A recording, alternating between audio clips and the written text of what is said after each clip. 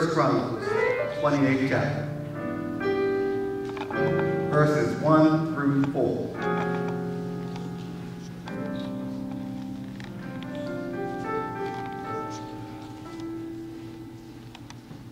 And Reverend Walker read 1 through 4. I'm just going to read verse 3.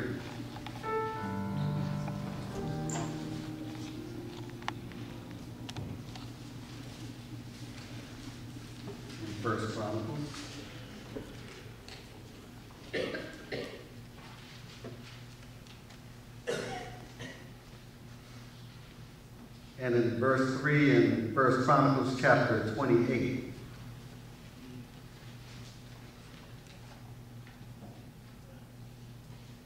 The word reads, But God said unto me, Thou shalt not build an house for my name, because thou hast been a man of war, and hast shed blood.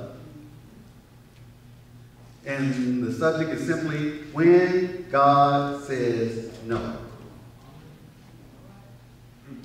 When God says no. Let us pray. Lord, we open up ourselves to you today, Lord. As we open up ourselves to you, may your spirit descend upon each and every one of us. We thank you, Lord, for what you're going to give us, Lord, what we're going to learn today, Father, so that we can be stronger people for you. Thank you how you're going to bless, how you're going to heal, Father, and how you're going to deliver in this moment, Father, as we listen to your word. So we give you praise and glory, Father, and we just ask that you would move self out of the way, that you would come shining through as a ray of light. In the name of our Lord and Savior, Jesus Christ. Amen. And verse 3 again says, But God said unto me, Thou shalt not build an house for my name, because thou hast been a man of war, and hast shed blood. When God says no. Now, no is a word we hate to hear. Nobody likes to hear no. No is a word that we hate to hear, used on us. But we don't mind so much if somebody uses it on somebody else. But we don't like to hear it on us. No is a word on many occasions when it is used, we think it's funny. As long as, as it is not directed to us. I mean, we hear kids say no all the time. When they say no, no, we, we laugh. We think it's funny, as long as it's not used on us. No is a word that causes us sometimes to go into instant rebellion. Because if you have been a child growing up in any parent's house and they told you no, you found a way to get around that no. If they said no, you couldn't go outside, you went out the window. You did something, but no, you went into instant rebellion mode. How am I going to get out of this no that I've heard? You know, no is a word that makes toddlers cry. Because if you tell no to a toddler, a toddler will cry. No is a word that makes adults cry. Because if they hadn't fixed it as a toddler, they're going to grow up as an adult. And if you say no to them, they're going to whine too. You know, because adults don't like to be told no either. Because they hadn't fixed it. No is a word that God uses really to test our obedience. How obedient are we to God when God tells us no? We just seen, we just read in Chronicles where David wanted to build a temple for the Lord to place the Ark of the Covenant for God. And God told him, no, you can't do it. I'm sure David said, God, I'm doing this for you, but God said no. Now David could have forced it and did it, but if you forced it against God's will, what do you have? So, no is a word that God uses really to test our obedience. So what do we do when God says no? And let me let me let you in on a secret. God will say no to you. He, he's going to say no to you in your lifetime. And he's going to say no, and he's going to stick to it. He's going to say no, and no is not going to mean not yet. Sometimes he says no, and no means no. Not now. Not, not, not now, because sometimes we think when God says no, well, it's not the time of life. No, sometimes when he says no, it means no. So what do we do when God says no? For David, had, and look at what David had done. If we read the whole Chronicles letter, I mean, letter, that um, scripture lesson. David had called together all the princes, all the tribes, all the captains, all the leadership of the nation. David had called them all together. And he called them all together and made a speech that took the courage of a leader. And the speech that took the courage of a leader for David is he told them that I wanted to build this thing for the Lord, and God told me no. Now that took a whole lot. And God told him why. But anyway, David was saying, I had in my heart to build a house to rest the ark of the covenant for God. I had in my heart to do this, but God told me no. And I was ready to build it. But again, God told him no. God told him no. So what do we do when God tells us no? Thou shalt not build a house for my name. That's what he told David. And sometimes he tells us no too. And for some folk, if you say no to them, you need to get ready to fight. You need to get ready to fight. Because if you say no to them, it's like, they said no to me. You know, like, I mean, when, when did you go in life where everybody going to say yes to you? But if you say no to them, especially saints sometimes, you say no to them, they, they get up and on, they get everybody else up and on because you said no. And adults that can't handle no, they can't handle no when they were a kid. And a kid that can't handle no, and they keep, keep giving it to them pass the time, they grow up to be spoiled brats. And if they grow up to be a spoiled brat, an adult grow up to be a spoiled brat adult. Because they hadn't learned how to handle no. Because God will say no. But some people you just can't say no to. If you say no, you, might well be ready to fight. Somebody needs to say amen. So, for some folk, you don't say no to them. Because if you say no, the fight is on. But in David's case, he heard no, but he also noted what God had done in his life. Because see, when God says no, it's for a reason. When we are told no, it's for a reason. When your parents told you no, it was for a reason. Your parents didn't say no because they were trying to spoil your fun. They were doing it for a reason that you could not see why they were saying no. All we saw most of the time was when my parents said no, I'm going to do it anyway. Because they tried to spoil my fun, I already made arrangements, and if they told me no, I'm going to get around this no. But when God tells us no, it's for a reason. It's not to spoil our fun or hurt us. It's for our protection. But people that don't know how to handle it, they don't give it's for their protection or that. What they hear is no, and I can't get my way, so I'm going to tear this place up until I get my way. Amen. It's just as simple as that. Because they haven't learned how to handle no. Some people can't handle no today. You say no to them right now, you might as well get ready to fight in the sanctuary because they ain't going to handle it well. Am I right? Can y'all hear me? Okay. Those guys can hear. the Lord has chosen him in his life. Look, look, at what the Lord did, because David recognized something. The Lord has chosen him out of his father's house to be king of Israel. Now God told him no, but David had to think, what has the Lord done for me in my life? So he had chosen him out of his father's house to be king of Israel. You know, because God did uh, three things that we need to really take note of today. First of all, you, we need to figure out why did God say no to David? That, that's first. Second of all, what has God done for you? And third of all, what legacy would we like to leave? See, when David heard the no, you know, David had to think on these three things. And when we hear no from God or hear no, even from our parents or somebody, we need to think about, you know, why did they say no to us? You know, they didn't say no. To, uh, people don't say no because they just don't like you most of the time. It says no for your protection or, you know, you're not ready to handle that or, uh, again, maybe you'll never be able to handle that. So no means no. But when somebody says no, most of the time it's for our protection. That's why I hurt or harm. You know, as I grew in um, Christian spirituality and um, Christian maturity, I, I, learned this. When somebody told me no, I, fine, fine, I can do something else. I don't have to do that. That's one thing I don't have to do. But sometimes when people had learned that, they said no to me. No, okay, it's on.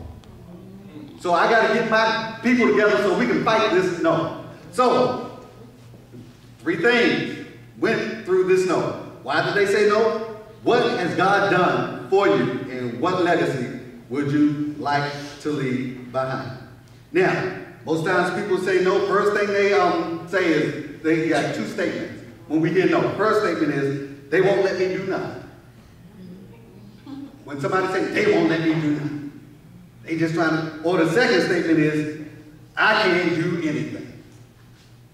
And people say these statements when they hear no, and both of these statements are true. But when God says no, when we hear God says no, again we need to consider these three things. Because God is telling us no for a reason. First one is, why did God say no? Why did God say no? Why did he say no? David was a man that loved the Lord. We know David loved the Lord. The Bible says that David was a man after God's own heart, and David loved the Lord. So why did God say no to this man that was a man after his own heart, and he loved the Lord? You know, David's past at this point when he was trying to build this temple caught up with him. His past caught up with him, and God told David that you have blood on your hands, for you are a man of war. He had blood on his hands being a man of war, and not only a man of war, he had blood on his hands from his personal life. From his personal life, because we know David had a rough personal life also. So God said, I'm not going to allow you to build this temple. So this is why I'm saying no to you. God just don't say no and leave it. God says no and gives us a reason why he says no. Now it's up to us if we want to accept the reason God gave us or not. But we need to realize that when God says no, it's for a reason. You know, my parents had eight kids, and my father had one car. And sometimes the sibling wanted to use the car. And God, my father would say, my earthly father would say, no, you can't use the car. And if I had a hard-headed sibling, which I did have at least one or two, they would take the car anyway. And they would go out and they would crash the car. And they would understand that my father didn't say no because he didn't want them to spoil their fun. They weren't ready to ride on the street. But they wrecked the car, and you know, uh, God was blessed and spared their life. But my father wasn't trying to spoil their fun. He just didn't want them to crash the car. And when God says no to us, he's not trying to spoil our fun either. He just don't want us to wreck our lives. He doesn't want us to run our lives into And David had to know when God said, no, look, you made a, you are a man a mess of your personal life. I still love you. You're a man after my own heart because he's a forgiving God. But I'm not going to allow you to build this um, ark or this temple for this ark. And so I'm telling you right now, no. But I will allow your family lineage to continue. But you won't do it. So David had to accept that. Now again, he could have not accepted that and forced it, but if you force it against God, who's going to win? So when God says no, it's for a reason, and we got to figure out why did he say no. And for David, it was because of, he had blood on his hands from war and from his personal life. The second one is we need to consider what has God done for you? Because a lot of times when God tells us no, we think God hasn't done a thing. He said no to this, God hasn't done nothing for me, all over one no. God has blessed you with a house, food in your refrigerator, a good job. He, he, gave you just about anything, a nice vacation, a great family. And when God says no, he don't do nothing for me. If you woke up this morning, he done enough for you. So, God, what has God done for you? When he tells you no, he's not trying to hurt you. We forget about what God has done for us when we hear one no. People do that too. You tell somebody one no, man, you had war. And you could have blessed them, you could have loaned them a thousand dollars. They don't care. You said no this time. Go ahead. You get somebody a thousand dollars, and all of a sudden you don't have a 10 spot, and you ask for a 10, and then you don't have it. They'll forget about the thousand just because you said no about the 10. And then they'll come back and say, they don't give me nothing. And then you got to try to cover the tracks when somebody say, well, they said you don't give them nothing. I just gave them a thousand dollars. They ain't even pay me back yet. so we need to say, we need to figure out what has God done for you. Because when God bless you, we need to work on that and we need to figure that out in our lives because God has blessed. God gave us Jesus Christ. And I tell you, he gave us Jesus Christ for the remission and for the covering of our sins. And that is enough right there to get us the glory, so we should be thankful. So if God, you tell me no every now and then, I can take it because you gave me a big yes.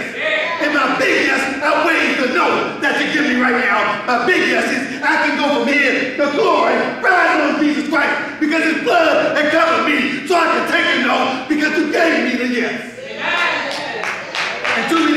we all upset because God said no, but somebody said no, we're trying to tear the house down. Don't take your salvation and throw it out the window. You, we need to realize what has God done for you. So God gave us Jesus Christ, and everybody knows that he is the foundation of our whole life. So if God says no, think about what he's done for you. Because what he's done for you want to outweigh the no that you need. And last, we need to consider what legacy will you leave? We all will leave a legacy. We're all going to leave a legacy. The question is, what kind? You know, we're going to leave a legacy that people will remember and talk about, or we're going to leave a legacy and people will say, I'm glad they're gone. That's a legacy too. I'm glad they're gone. And, you know, some people say, I'm glad they died. They'll come to the funeral, they'll cry, I'm glad they're gone. Because they were a pain in the neck. All they did was fuss, all they did was fight. You couldn't say no to them. Every time you said no, it always turned out to me. So I'm glad they go. That's a legacy, isn't it? Amen. So the, the question isn't what is what kind of legacy. The question is the legacy. We want to leave a legacy. So how do you want to be remembered? See, if we don't learn how to handle the no's of life, we're going to be remembered poorly. Because that, spoiled, that spoiled, uh, spoiled brat syndrome is going to grow into an adult. And we don't call it the same thing, but that's what they are, spoiled brat adults. Amen. And people will remember that. And they will remember that you were just a mean, irritable old grouch. That you always came with negative stuff. Every time somebody say, let's do this, you always talking negative. People remember that stuff. And when you die, they're going to cry when you leave, and they're going to thank God when you're gone. Amen? Amen. You all still hear I'm, I'm just asking. Amen. So, you know, we need to remember. We need to remember that we're going to leave a legacy. And until we learn how to handle the no, the next legacy is going to be bad. The legacy is going to be bad. Because nobody tells you no for a reason. And you know, I'm talking about God. I'm talking about God. Now let's talk about when somebody tells you no in the church. A choir director, he said, no, we can't do this song. Oh, you better get ready to have no members the next time you have choir rehearsal. All because he said, no, we can't do this song. It may be that you don't have the voices to do the song. Or Matthew said, well, we can't do that song because you can't get the rhythm. Well, why can't we? Told you you can't do the rhythm. So what you getting mad for? You can't do it, you just can't do it.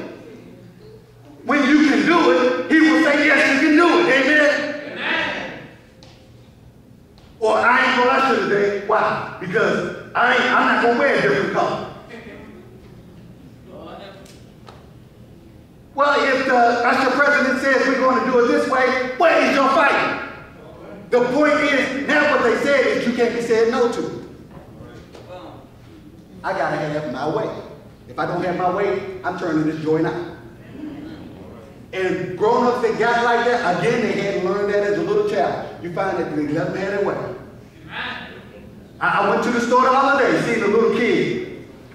He had um, one of those Star, Star, Star Wars lightsabers going down the aisle, just wing. And the mother going, oh, Stop it, stop it. I wish it was. Oh, stop it, come on. You, you may hurt somebody. I stood there and let that kid hit me. I'm going to smack. Ooh. I'm going to give him one. And just, just as he got to me, I looked at him and he, he stopped. and then he backed up.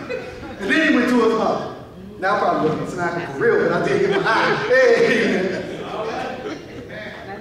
But if she doesn't correct that, if she doesn't correct that, you already know the rest of it. If you don't correct that then, it's going to get worse later. So, you know, we need to learn how to handle the no's in life. And as adults, we haven't learned how to handle it. You need to learn how to handle it now because God's going to detail you know. You're going to run into somebody on this planet that's going to say no to you. You're going to run into somebody that's going to say, how do you handle it? I mean, no's aren't here to hurt us, and God is definitely not trying to hurt us. So, what kind of legacy do we want to leave? You know, I don't want to leave a bad legacy. You know, I don't want to leave a poor legacy. I want to leave a good legacy. I want to learn how to handle, you know, no's in my life so I won't be a negative person. Because people that can't handle no's, they are very negative. We, we may think that, but they are very negative. And if you don't believe me, try to say no to somebody today. That you already know you're going to be, it's going to be a fight. Because some people, we just say yes to just to pacify them so they won't say nothing. And that puts you in bondage. Because then you got to do everything they want, so they just be quiet. Some people, we go home at night. Say, I don't care what they do, I just want peace. So whatever they do is all right with me. I just want them to be quiet. But do you have peace? Then you're in the hospital with ulcers and taking all these pills because you got all this stuff built up inside because you all upset. Anybody know what I'm talking about? Okay, I just want you to understand where I'm coming from because David had to deal with this though. David, God's own man, a man after God's own heart. I'm building this for you, Lord. I'm building this for you. And God knew that he would, but God said, no. You can't do it.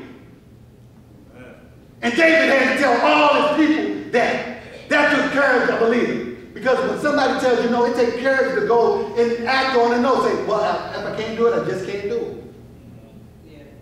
You know, the bishop come to me one day and say, look, I don't want you to go to Contee, I want you to go someplace else. I can't stand on the floor and fight the bishop.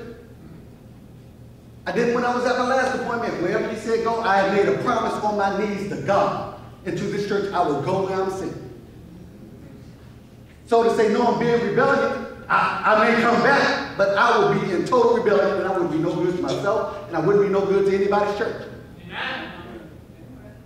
Until I learn how to handle it. And we got preachers around that does do that. That they aren't good to anybody because they told me, I ain't going, I don't want to go nowhere. And they reject it, and then they go back, and they wonder why God's not flourishing the ministry. God keeps us going because of his grace and mercy, but he won't pour out his abundance until we're obedient. Amen.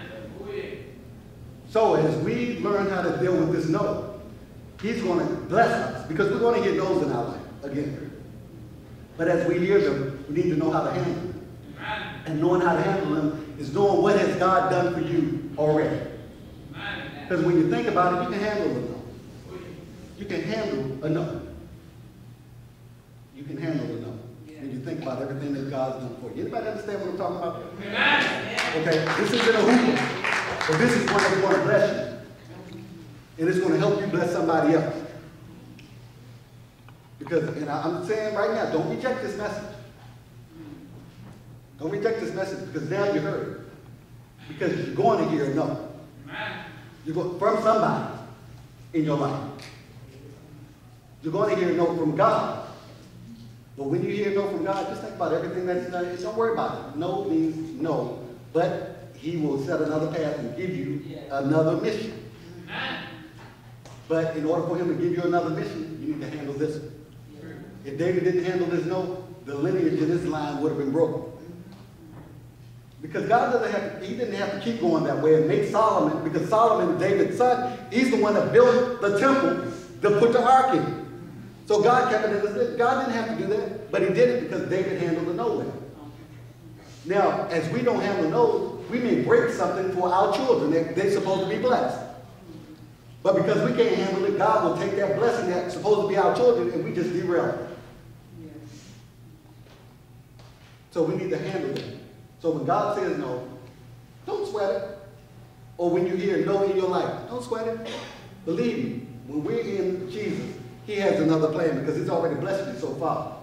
And so much that it is unthinkable. You can't even think of all the ways Jesus blessed you. But when you do hear no, know that you're still blessed. Okay? You need to understand that you're still blessed when you hear no. So don't let it throw you.